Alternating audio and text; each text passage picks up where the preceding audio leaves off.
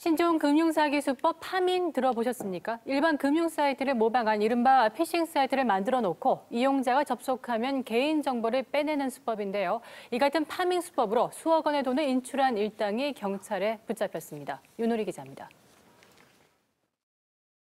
한 남성이 현금 인출기에서 돈을 인출한 뒤 유유히 사라집니다.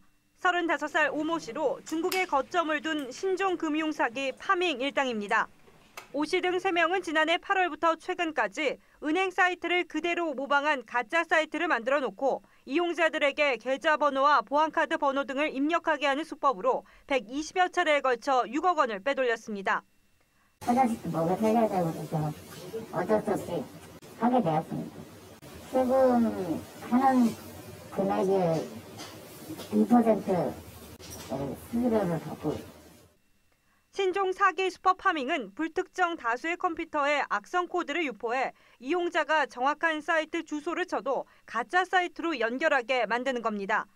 이용자들이 접속하면 계좌번호뿐 아니라 보안카드 번호 전부를 입력하게 해 개인정보를 빼냈습니다.